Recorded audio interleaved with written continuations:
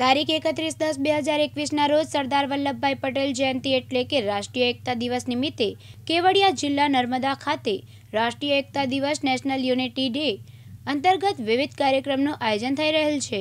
આ કાર્યક્રમ અંતર્ગત રાષ્ટ્રીય એકતા દિવસ પરેડમાં ભાગ લેવા માટે સીઆરપીએફના પંચ્યાસી જેટલા જવાનોની ટીમ સાયકલ રેલી દ્વારા મહારાષ્ટ્ર ગઢચિરોલીથી તારીખ બાર દસ બે હજાર એકવીસથી નીકળી પંદરમા દિવસે ગુજરાત કેવડિયા એસઓયુ પહોંચવાના છે.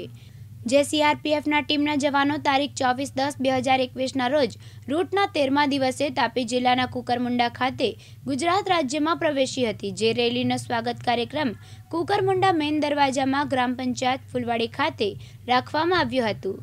જ્યાં તાલુકાના લોકો દ્વારા સીઆરપીએફના જવાનોનું ભવ્ય સ્વાગત કરવામાં આવ્યું હતું અને ફુલવાડી આશ્રમ શાળા ખાતે જવાનોનું ભવ્ય સ્વાગત થયું હતું અને સાંસ્કૃતિક કાર્યક્રમ યોજાયો હતો. તેમજ દેશભક્તિ ગીતો પર ડાન્સ કરી શાળાના યુવાનોએ જવાનોને પ્રોત્સાહન પૂરું પાડ્યું હતું તેમજ ફૂલવાડી આશ્રમ શાળાની બાળાઓએ સરસ મજાનું દેશભક્તિ ગીત રજૂ કર્યું હતું અને વ્યવસ્થા જળવાઈ રહે તે માટે હોમગાર્ડ અને પોલીસ જવાનો હાજર રહ્યા હતા जय हिंद मैं असिस्टेंट कमांडेंट चेतन शेलोटकर इस साइकिल टीम का कैप्टन राष्ट्र एकता दिव- दिवस के उपलक्ष्य पर सीआरपीएफ द्वारा साइकिल रैली का आयोजन किया गया दिनांक 12 अक्टूबर को महाराष्ट्र राज्य के राज्यपाल श्री भगत सिंह कोश्यारी द्वारा इस रैली का उद्घाटन किया गया।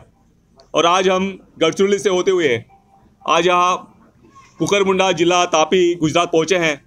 और जिस मकसद के साथ ये साइकिल रैली का आयोजन किया गया है कि लोगों के अंदर एकता की भावना जागृत करना फ़िज़िकल फिटनेस के बारे में उनको बताना और सबसे इंपॉर्टेंट सभी लोगों में देशभक्ति देश प्रेम की भावना जागृत करना। साथ ही साथ ये जो फासला हम अभी तय किया है, तकरीबन हज़ार किलोमीटर का फासला हमारे जवानों ने तैयार, तय किया है।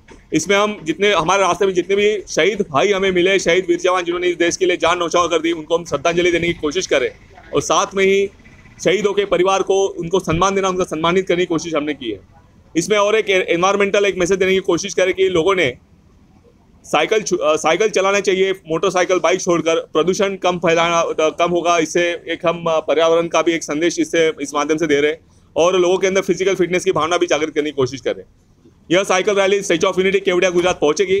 इकतीस अक्टूबर, राष्ट्रीय एकता दिवस के उपलक्ष्य पर मनाया जाएगा और जिस मकसद से साथ हम निकले और लोगों का जो प्यार हमें मिल रहा है, इससे वही हमारी साइकिल टीम के बहादुर जवानों का ऊर्जा का साधन है।